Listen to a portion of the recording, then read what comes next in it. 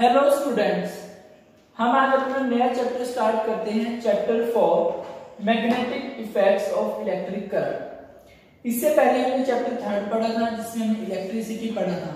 और उसमें देखा था कि इलेक्ट्रिक करंट क्या होता है?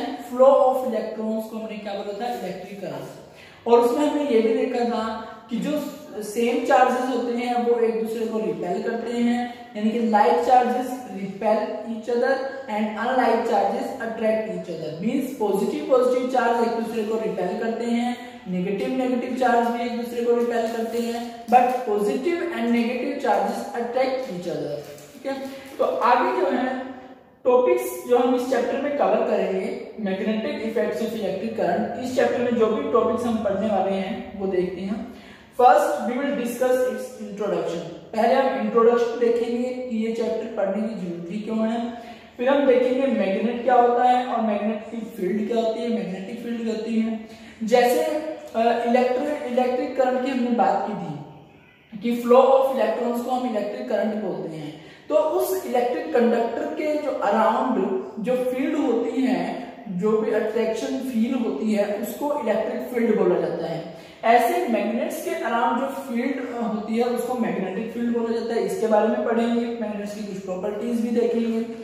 मैग्नेटिक लाइंस ऑफ़ फोर्स देखेंगे। Magnetic field due to a straight current carrying conductor देखेंगे। अब जो मैग्नेटिक फ़ील्ड होगी, उसका इलेक्ट्रिक करंट के साथ क्या रिलेशन है, वो भी देखा जाएगा। तो magnetic field due to a straight current carrying conductor देखेंगे। Magnetic field due to earth earth की भी कुछ ना कुछ मैग्नेटिक फ़ील्ड होती है, उसके बारे में पढ़ेंगे। Magnetic field due to current carrying circular wire अब स्ट्रेट वायर में कैसे करंट मैग्नेटिक फ़ील्ड होती है? जब स्ट्रेट वायर उसमें करंट फ्लो कर रहे हैं तो उसके अराउंड मैग्नेटिक फ़ील्ड कैसे होती है, वो देखेंगे। सर्कुलर वायर में कैसे होती है, वो भी देखेंगे।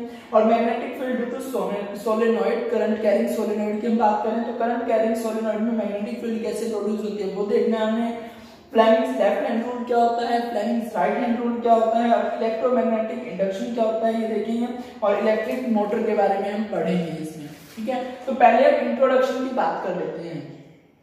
इंट्रोडक्शन में हम कुछ इस तरीके से स्टार्ट करते हैं इस चैप्टर को, कि जैसे बहुत पुराने टाइम की अगर हम बात करते हैं, तब मैग्नेट्स को और इलेक्ट्रिक करंट को अलग अलग समझा जाता था।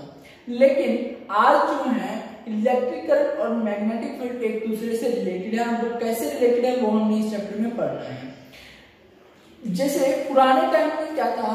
एक लोड स्टोन नाम का एक ब्लैक पत्थर था, ठीक है? और वो जो था, वो वो इस तरीके से था कि अगर उसके पास हम मेटलिक या आयरन की चीज़ें लेकर जाते हैं तो वो उन चीज़ों को अट्रैक्ट करता है, ठीक है? तो वो लोड स्टोन नाम का जो पत्थर था ब्लैक पत्थर ठीक है? वो क्या करता था? वो आयरन की चीज़ों को अपनी तरफ़ अट्रैक्ट करता था। अब वो कैसे अट्रैक्ट करता था? क्या उसके पीछे रीजन था? वो सब हम यहाँ पे पढ़ेंगे। मैग्नेट्स क्या होते हैं? मैग्नेटिक फ़ील्ड कहते हैं? हमारा फ़र्स्ट टॉपिक रहेगा। हम अपना फ़र्स्ट टॉपिक स्टार्ट करते हैं। मैग्नेट्स एंड मैग्नेटिक फ़ील्ड तो मैग्नेट के बारे में सबसे पहले बहुत ही पुरानी बात है ये। जब एक आयरन की ब्लैक ओर की बात की गई लॉर्ड स्टोन लोड स्टोन ये लोड स्टोन क्या है? It is an black iron ore it is an black ore of iron जो लोड स्टोन है, वो आयरन की एक ब्लैक ओर है, ठीक है? यानी कि हम और का मतलब क्या होता है? खान होता है जहाँ से हम कोई चीज़ एक्सट्रैक्ट करते हैं। तो ये आयरन की ओर है तो हम इससे आयरन को एक्सट्रैक्ट कर सकते हैं। तो जो लोड स्टोन मटेरियल था ब्लैक मटेरियल ये क्या करता था? ये जो जो स्मॉल पीसेस थे आयरन के, उनको अपनी तरफ़ अट्रैक्ट करता था। मीन्स इसके पास कोई ना कोई फोर्स था, जिसकी वजह से उनको अट्रैक्ट कर रहा था आयरन फीलिंग्स को हम बोल सकते हैं, ठीक है? तो लोडस्टोन जो है उनको अट्रैक्ट कर रहा था। बाद में जो है, कुछ टाइम बाद लोडस्टोन को ही बोला गया मैग्नेटाइट ठीक है? लोडस्टोन को क्या बोला गया? मैग्नेटाइट और आजकल हम लोडस्टोन को मैग्नेटाइट ही बोलते हैं। मैग्नेटाइट भी क्या है? आयरन की ही और है। और मैग्नेटाइट को हम लिख सकते हैं Fe3O4 ठीक है? ये इसका केमिकल फॉर्मूला है मॉलिक्यूलर फॉर्मूला है मैग्नेटाइट का। तो मैग्नेटाइट क्या है? और है। किसकी और है? ये आयरन की। और ये भी किस तरीके से काम करती है कि अगर हम कोई भी आयरन पार्टिकल्स को लोडस्टोन या मैग्नेटाइट के पास लेके जाए तो वो अट्रैक्शन फील करते हैं। अब, जो अट्रैक्शन फील हो रही है तो इस चीज़ को बोला है कि ये जो इस तरीके से जो लोडस्टोन हो गया मैग्नेटाइट हो गया, ये नेचुरली अकरिंग ऐसे मटेरियल्स हैं जो अपनी तरफ़ आयरन को अट्रैक्ट करते हैं। तो जो नेचुरली अकरिंग ऐसे मटेरियल्स होते हैं जो आयरन या आयरन पार्टिकल्स को अपनी तरफ़ अट्रैक्ट करते हैं, उनको बोला गया नेचुरल मैग्नेट्स ठीक है? तो ये दोनों क्या है?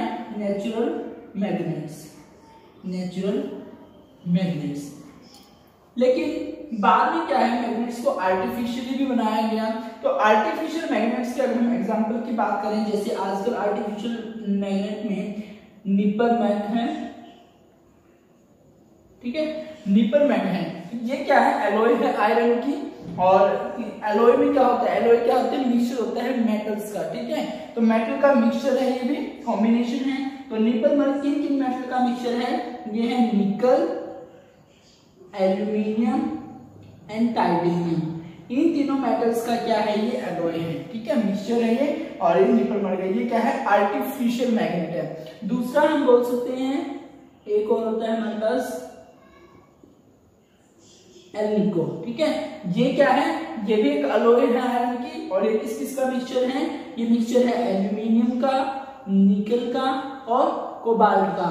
तो इसको क्या बोले? एल्निको और ये दोनों ही क्या है? आर्टिफिशियल मैग्नेट्स हैं। आर्टिफिशियल मैग्नेट्स ठीक है? तो मैग्नेट क्या होते हैं? मैग्नेट ऐसे मटेरियल होता है, जब हम इसके पास जो है, किसी भी आयरन लाइक मटेरियल्स को लेकर के आते हैं तो वो उनको क्या करता है? अट्रैक्ट करता है। उन पर कोई ना कोई फोर्स ही अप्लाई करता है। जैसे बचपन में सभी ने गेम खेला होगा कि मैग्नेट लिया होंगे, दो मैग्नेट्स लिए होंगे। उनको क्या कर रहे हैं? वो अगर हम पास लेकर आ रहे हैं, कई बार तो वो अट्रैक्ट हो रहे हैं दूसरे से चिपक जा रहे हैं। लेकिन कई बार क्या है कि हम वो एक दूसरे से अट्रैक्ट नहीं हो रहे, उनके बीच में कोई ना कोई फोर्स काम कर रहा है, जो एक दूसरे को मतलब दूर खींच रहे और हम उनको जो है बिल्कुल अपना प्रेशर लगा के फोर्स लगाकर उनको एक साथ मिलाने की कोशिश करते हैं, लेकिन वो कभी भी मिल नहीं पाते ठीक है? तो ऐसे मटेरियल्स को हम मैग्नेट्स बोल रहे हैं उनको, ठीक है? और जो उनके बीच में फोर्स काम कर रहे हैं कभी वो चिपक रहे हैं कभी वो एक दूसरे को फोर्स लगा के दूर भेज रहे हैं तो वो क्यों हो रहा है? क्योंकि जो मैग्नेट्स होते हैं, वो उनके दो पोल होते हैं, ठीक है?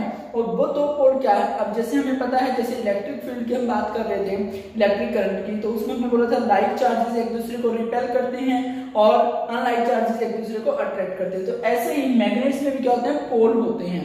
उनको हम पोल्स बोलते हैं और वो पोल्स क्या है? अगर लाइट चार्जेस एक दूसरे के सामने आ रही हैं तो वो एक दूसरे को रिपेल करेंगे।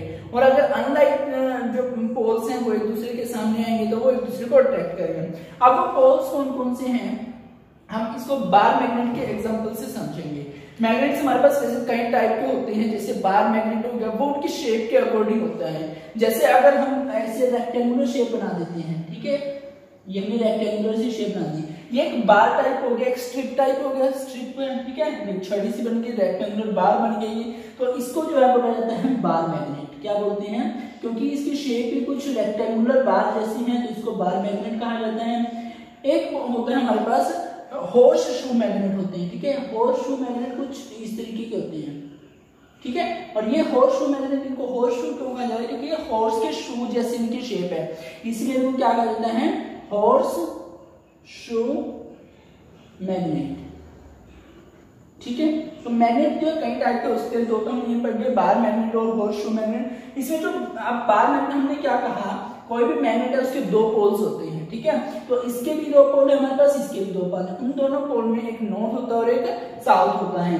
तो हम ऐसे रिप्रेजेंट कर सकते हैं एक नॉर्थ पोल है, एक साउथ पोल है। इसमें हम रिप्रेजेंट कर सकते हैं एक नॉर्थ पोल एक साउथ पोल तो अगर हम बार मैग्नेट के दो सेम पोल्स को एक दूसरे के पास लेकर के आते हैं, जैसे मैं साउथ और साउथ को एक दूसरे के पास लेकर के आऊँगा तो वो क्या करेंगे? रिपेल करेंगे दूसरे क्यों क्योंकि साउथ और साउथ सेम पोल हो या फिर अगर मैं नॉर्थ के पास नॉर्थ लेके आऊँगा तो वो एक दूसरे को क्या करेंगे? रिपेल करेंगे क्योंकि वो सेम पोल है। अगर मैं साउथ के सामने नॉर्थ लेके आता हूँ, या नॉर्थ के सामने साउथ लेके आता हूँ, वो एक दूसरे को अट्रैक्ट करेंगे क्यों? क्योंकि वो अपोजिट क्या है? पोल्स हैं, ठीक है? अब यहाँ पे एन जो है, हम बार बार बोल रहे हैं एन किसको रिप्रेजेंट कर रहा है? नॉर्थ को रिप्रेजेंट करता है एस किसको रिप्रेजेंट कर रहा है? साउथ को रिप्रेजेंट कर रहा है। यहाँ पे भी एन किसको रिप्रेजेंट कर रहा है नॉर्थ को और इधर एस किसको रिप्रेजेंट कर रहा है साउथ को। अब नॉर्थ और साउथ पोल क्यों कहा गया? क्योंकि जो हमारा अर्थ है, वो भी एक ह्यूज मैग्नेट की तरह काम करता है, वो भी ह्यूज मैग्नेट है। लेकिन उसकी स्ट्रेंथ जो है वीक होती है, ठीक है? तो जो, अगर हम क्या करें, बार मैग्नेट को फ्रीली हम एयर में सस्पेंड कर देते हैं, लटका देते हैं, ठीक है? किसी धागे से बात कर और उसको घुमा के छोड़ देते हैं। तो वो हमेशा ही क्या करेगा, जो हमारे जियोग्राफिकल जो अर्थ की नॉर्थ पोल है, उसी तरफ़ उसका एक नॉर्थ पोल जाएगा मैग्नेट का, और साउथ पोल अर्थ के साउथ पोल की तरफ़ मैग्नेट का साउथ पोल चला जाएगा, ठीक है? तो इसलिए क्यों? क्योंकि जो अर्थ जो वो भी ह्यूज मैग्नेटिक फ़ील्ड है, ठीक है? ह्यूज मैग्नेट है, लेकिन उसकी जो मैग्नेटिक फ़ील्ड या फिर हम स्ट्रेंथ बोल सकते हैं, वो क्या होती है? वीक होती है। ठीक है? तो इसलिए जो है बार मैग्नेट के दो पोल्स मिलता है नॉर्थ और साउथ क्यों? हमने नॉर्थ साउथ पोल क्यों बोले? क्योंकि जो एक जियोग्राफिकल रिप्रेजेंटेशन के अकॉर्डिंग जो अर्थ के नॉर्थ और साउथ पोल होते हैं जियोग्राफिक नॉर्थ और साउथ पोल होते हैं, उसी डायरेक्शन में हमारा मैग्नेट जो है फ्रीली सस्पेंड करने पर लाई करता है। ठीक है? तो अब हमें यहाँ पर क्या देखना है कि वो किस तरीके से एक दूसरे को अट्रैक्ट कर रहे हैं और किस तरीके से एक दूसरे को रिपेल कर रहे हैं। अब मैग्नेट को डिफाइन देखते हैं किस तरीके से करेंगे। हमने समझ लिया है मैग्नेट को अच्छे से। अब हम डेफिनेशन देखते हैं मैग्नेट की। मैग्नेट क्या है? An object which is capable of producing magnetic field and attracting unlike poles and repelling like poles यानी कि एक ऐसे ऑब्जेक्ट ऐसा सब्सटेंस विच इज़ कैपेबल जो योग्य हो, यानी कि जिसके पास इतना पोटेंशियल हो कैपेबल हो, कि वो क्या कर सके? मैग्नेटिक फ़ील्ड प्रोड्यूस कर सके। मैग्नेटिक फ़ील्ड क्या होती है? वो हम समझेंगे आगे, पर अभी के लिए इतना समझ लेते हैं कि एक इतना एरिया होता है जिसमें मैग्नेट का कुछ ना कुछ इफ़ेक्ट होता है, ठीक है? उसका अट्रैक्शन का इफ़ेक्ट या रिपल्शन का जो इफ़ेक्ट है, जितने एरिया में होता है, उस एरिया को बोला जाता है मैग्नेटिक फ़ील्ड तो एक ऐसा ऑब्जेक्ट जो कैपेबल ऑफ़ क्या प्रोड्यूस करने के लिए मैग्नेटिक फ़ील्ड प्रोड्यूस करने के लिए कैपेबल हो ठीक है? साथ में एंड अट्रैक्टिंग अनलाइक पोल्स और वो अनलाइक पोल्स को अट्रैक्ट कर सके और रिपेल कर सके किसको? लाइक पोल्स को। Capable of producing magnetic field and attracting unlike poles and repelling like poles तो उस ऑब्जेक्ट को सब्सटेंस को उस मटेरियल को हम क्या कहेंगे? मैग्नेट कहेंगे। ठीक है? An object which is capable of producing magnetic field and attracting like poles and repelling like poles is called a magnet. अब हम कुछ प्रॉपर्टीज़ देखते हैं, ठीक है? जो पोल्स होते हैं क्या होते हैं? हमने पहले समझ तो लिया है, लेकिन अब हम इनको आगे डिफाइन भी करेंगे। अभी हम प्रॉपर्टीज़ देखते हैं मैग्नेट की। When a magnet is dipped in iron fillings filling iron fillings का मतलब है पीसीस ऑफ़ आयरन बिल्कुल छोटे छोटे पीसीस होते हैं, उनको फिलिंग्स बोला हुआ है, ठीक है? When a magnet is dipped, जब एक मैग्नेट को हम डिप कर देते हैं डालते हैं इन इन आयरन फिलिंग्स आयरन फिलिंग्स में आयरन के छोटे छोटे पीसीज में देन द आयरन फिलिंग्स जो आयरन की फिलिंग्स होती हैं आयरन के जो पीसीज होते हैं cling to the end of the magnet cling का मतलब होता है चिपक जाना एकदम से ठीक है? अट्रैक्ट हो जाना ठीक है? Cling to the end of the magnet magnet के जो एंड होंगे उससे चिपक जाते हैं। एज अट्रैक्शन इज़ मैक्सिमम क्यों? क्योंकि जो अट्रैक्शन है, वो मैक्सिमम होती है कहाँ पर? एंड्स के ऊपर मैग्नेट के। यानी कि जो आयरन फिलिंग्स में अगर हम मैग्नेट को डिप कर देते हैं तो जो आयरन फिलिंग्स है, वो पोल्स हम जो मैग्नेट के एंड हैं दोनों तरफ़, उन एंड्स मान लो एक मैग्नेट है, और हमने इसको आयरन फिलिंग में डिप कर दिया। तो जो आयरन की फिलिंग्स हैं, वो इन एंड्स की तरफ़ ज़्यादा अट्रैक्ट होंगी, इस पार्ट के कंपैरिजन में सेंटर के कंपैरिजन और इस पार्ट की तरफ़ क्यों ज़्यादा अट्रैक्ट हो रही है? वो इसी वजह से क्योंकि जो अट्रैक्शन जो है एंड्स के ऊपर वो क्या होता है? मैक्सिमम होता है। ठीक है? और these ends are known as poles of the magnet और इन्हीं एंड्स को क्या कहा जाता है? पोल्स कहा जाता है किसके? मैग्नेट के। ठीक है? तो जो एंड्स होते हैं किसी भी मैग्नेट के, उनके ऊपर जो अट्रैक्शन होती है वो ज़्यादा होती है और इन एंड्स को ही पोल्स कहा जाता है एक मैग्नेट के। Next property is magnetic poles always exist in pairs जो मैग्नेटिक पोल्स होते हैं magnetic poles always exist in pairs magnetic poles का मतलब क्या है? जो एंड्स की बात करें मैग्नेट के तो इनको मैग्नेट के पोल्स है तो मैग्नेटिक पोल बोल दिया। अब ये जो तो पोल्स हैं, ये हमेशा पेयर में ही एग्जिस्ट करेंगे। ऐसा नहीं है कि जो एक पोल अलग होगा, दूसरा पोल अलग एग्जिस्ट करेगा। जैसे चार्जेस तो है पॉजिटिव चार्ज अलग एग्जिस्ट कर सकते हैं निगेटिव अलग कर सकते हैं एग्जिस्ट लेकिन जो पोल्स हैं, किसी भी मैग्नेट के, वो मैग्नेट के पोल्स जो हैं, वो कैसे एग्जिस्ट करेंगे पेयर्स में? इस बात का मतलब क्या है? मान लो हमारे पास ये पूरे का पूरा मैग्नेट है, ठीक है? और हम इसको क्या करते हैं? पीस कर देते हैं, इसके तोड़ देते हैं, इसको कट कर देते हैं। कट करने के बाद भी हमने स्टार्टिंग में बोला कि एक पोल ये है, दूसरा पोल ये है। लेकिन अगर हम इसको कट कर देते हैं, इसके टू पार्ट्स में कर दिए, ठीक है? मिडिल में से कट करके सेंटर में से। तो जो ये कट करने के बाद दो अलग अलग पीसेस बनेंगे तो उनके भी अपने अपने पोल्स होंगे। यानी कि जो अलग से एक मैग्नेट बनेगा, दूसरा मैग्नेट बनेगा। वो दोनों भी, उनके भी दोनों के पेयर्स होंगे अलग अलग से पेयर्स होंगे। जैसे मान लो ये फ़र्स्ट पोल था, ये सेकेंड पोल था। फिर यहाँ पे जब हम कट करेंगे तो यहाँ पे भी एक पोल हो जाएगा, यहाँ पर भी एक पोल हो जाएगा, ठीक है? क्योंकि वो भी एंड्स बन जाते हैं मैग्नेट्स के अलग अलग तो एक मैग्नेट से हमने दो मैग्नेट बना लिए, और दोनों मैग्नेट्स के फिर अलग अलग एंड्स होंगे। तो उन एंड्स को हम क्या बोलते हैं? पोल्स बोलते हैं। इसीलिए जो मैग्नेटिक पोल्स होते हैं, वो हमेशा एग्जिस्ट करते हैं पेयर्स में। कभी भी अकेले एक पोल एग्जिस्ट नहीं करेगा मैग्नेट का। Clear Next property is whenever a magnet is suspended freely in air, जब भी मैग्नेट को फ्रीली हम सस्पेंड कर देते हैं एयर में तो क्या होता है? It is always points towards north south direction ये हमेशा ही नॉर्थ साउथ डायरेक्शन की तरफ़ पॉइंट करता है, यानी कि जो एंड्स होते हैं, जिनको हम पोल्स बोल रहे हैं मैग्नेट के, वो पोल्स हमेशा ही नॉर्थ और साउथ डायरेक्शन की तरफ़ दिखाई देते हैं पॉइंट करते हैं, उसी तरफ़ लाई करते हैं। The pole pointing towards geographic north is called north pole. जो पोल जियोग्राफिक यानी कि अर्थ के नॉर्थ डायरेक्शन की तरफ़ पॉइंट करेगा, उस पोल को नॉर्थ पोल कहा जाता है मैग्नेट का और जो पोल जियोग्राफिक जो अर्थ है हमारी, उसके साउथ डायरेक्शन की तरफ़ पॉइंट करेगा, उस पोल को हम बोलते हैं south pole whenever magnet is suspended freely in air always points towards north south direction the pole pointing towards geographic north क्या कह रही है? The pole pointing towards geographic north is called north pole उसको north pole कहा जाता है. And the pole pointing towards geographic south is called south pole तो उसको साउथ पोल तो हमने अभी तक तीन प्रॉपर्टीज़ देखी, तीन प्रॉपर्टीज़ में हमने क्या क्या बताया कि जो मैग्नेट के एंड्स होते हैं, उन एंड्स को पोल्स बोलते हैं और जो पोल्स हैं मैग्नेट के, वो हमेशा ही एग्जिस्ट करते हैं पेयर में। और हमने बताया जो इन पोल्स को हमने नाम दिया एक नॉर्थ पोल एक साउथ पोल अगर जियोग्राफिक अर्थ के नॉर्थ डायरेक्शन की तरफ़ वो लाई करता है फ्रीली सस्पेंड करने में तो उसको नॉर्थ पोल बोलते हैं। और फ्रीली सस्पेंड करने पर अगर वो जियोग्राफिक साउथ डायरेक्शन की तरफ़ पॉइंट करते हैं तो उसको साउथ पोल बोलते हैं। अब हम नेक्स्ट प्रॉपर्टीज़ देखते हैं। नेक्स्ट प्रॉपर्टी देखते हैं हम। नेक्स्ट प्रॉपर्टी क्या कहती है? Like poles repel while unlike poles attract each other magnets के जो हमने पोल्स बताए, हमने क्या कहा कि जो मैग्नेट्स के दो एंड्स होते हैं, उनको हम पोल्स बोलते हैं। और अगर हम फ्रीली सस्पेंड करते हैं मैग्नेट को एयर में तो जो जो एंड जो होगा नॉर्थ जियोग्राफिक नॉर्थ डायरेक्शन में जो पॉइंट करेगा उसको बोलते हैं नॉर्थ पोल और जो एंड साउथ डायरेक्शन में जियोग्राफिक साउथ डायरेक्शन में पॉइंट करेगा, उसको हम क्या बोलते हैं? साउथ पोल बोलते हैं।